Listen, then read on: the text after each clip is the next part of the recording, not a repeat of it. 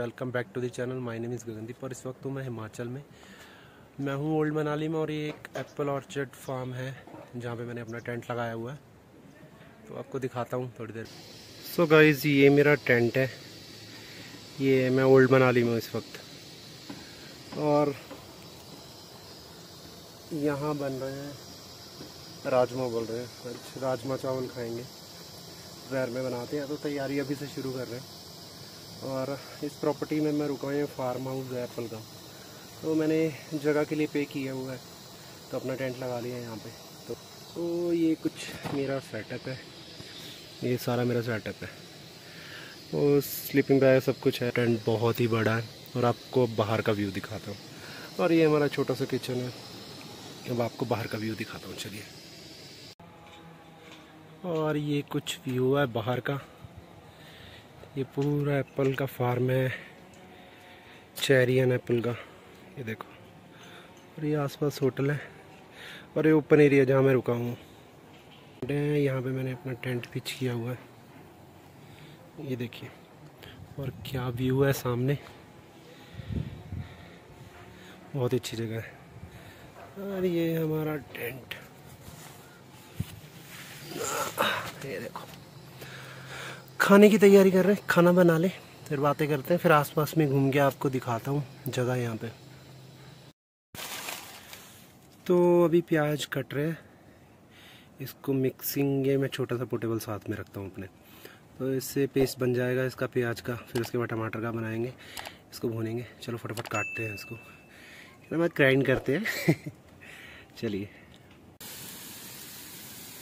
तो guys gravy almost ready है, बस इसमें मसाले डालने। और इसमें फिर डालेंगे राजमा। और बस फिर बन गए राजमा चावल। और कैसे दिख रहे हैं बताना कमेंट में ज़रूरी है चलिए, इसमें मसाले डालते हैं और फिर आगे बनाते हैं इसको। सो गाइज़ अभी रखे हैं चावल और, राजमा बन चुके हैं। ये देखिए ग्रेवी टाइप ज़्यादा, पतली नहीं करी, थोड़ा आड़ी रखिए और ये बन जाएँगे फिर खाते। गाइस राजमा चावल बन गए। तो मैंने टिफ़िन में डाल दिए थे कि अच्छे से स्मेल हो जाए और उसके ऊपर एरिगानो डाल दिया। अरिगानो सर तो खाते हैं, देखते हैं कैसा बना बताते हैं रिव्यू और आप भी कमेंट में बताना, दिखने में कैसा लग रहा है।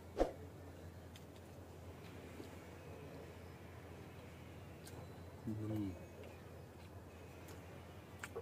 मुझे तो पसंद आया। आपको रेसिपी चाहिए तो बता देना। बना के, बताना मेरे को, कैसा बना है। हम्म। नमक को वमक सब एकदम परफेक्ट है। चलो, अभी ये खाते हैं।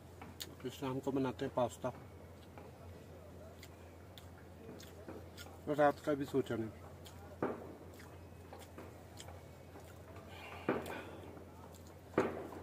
हम्म।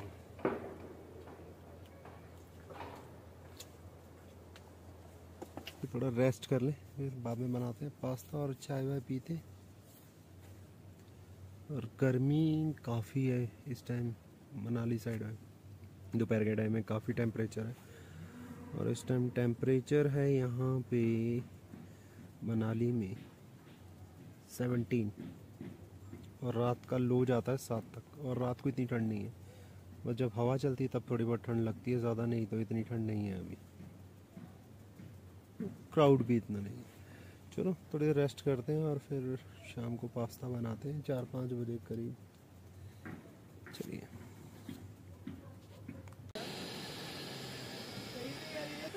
सो गाइस अभी बन रही है चाय। तो चाय पीते हैं, पास्ता हमने खा लिया। तो चाय बनती है तो चाय पिए।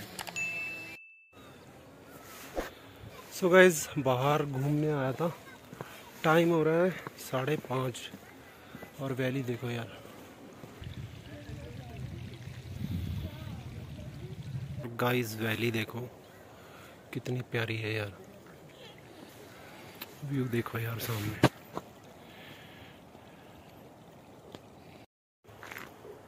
है ना शानदार व्यू मेरे पीछे। तो वहाँ यहाँ वहाँ से थोड़ी दूर ही है 200 मीटर है मुश्किल से। तो ऐसे घूम के नदी के पास से फिर वहाँ पे टेंट वाली जगह पे चले जाएँगे। ओल्ड मनाली के एकदम बीचों बीच है जाकर। तो कोई टेंशन नहीं है, घूमते हैं। फिर शाम को चल के खाना बनाते हैं। बनाने का मन हुआ बना लेंगे, नहीं तो बाहर से खा लेंगे।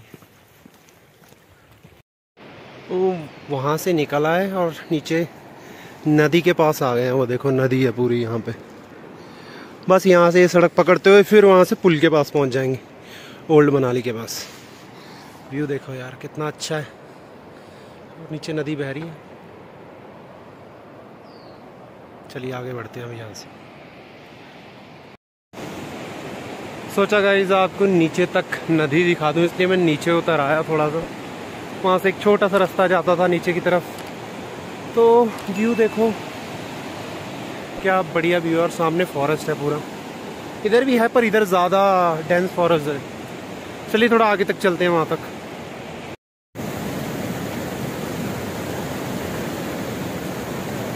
भाई देख रहे हो मेरे पीछे क्या व्यू है? बहुत ही अच्छा व्यू है यार। अगर पसंद आए तो कमेंट करके ज़रूर बताना कि इस वीडियो में आपको क्या अच्छा लगा। तो ऐसी वीडियो और लेके आता रहूँगा मैं आपके पास। अब व्यू का मज़ा लो?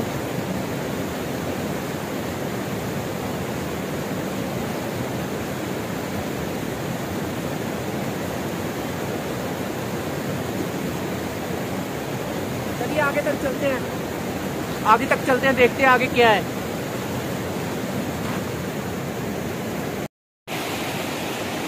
गाइस में आगे आ गया अब देखो, यहाँ पे दो नदियाँ कनेक्ट हो रही हैं, जो इधर ओल्ड मनाली से आ रही है।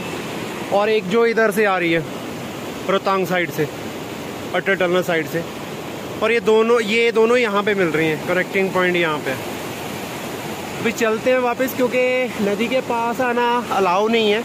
इस साइड खास करके, उस साइड कोई प्रॉब्लम नहीं है। इस साइड वहाँ लिखा हुआ था कि नदी के पास मत जाइए एंड ऑल पर इतना बहाव तेज़ नहीं है, पानी भी कम है। बारिशों में दिक्कत होती है। तो अगर आना है सेफली आइए, मैं सजेस्ट नहीं करूँगा। तो व्यू का मज़ा लीजिए यार, क्या व्यू है। चलिए चलते हैं वापस। खाना वाना खा लिया बस अब सोने की तैयारी है। और वीडियो कैसी लगी कमेंट में ज़रूर बताना। मिलते हैं ऐसी किसी नई वीडियो में। तब तक के लिए bye take care love you all please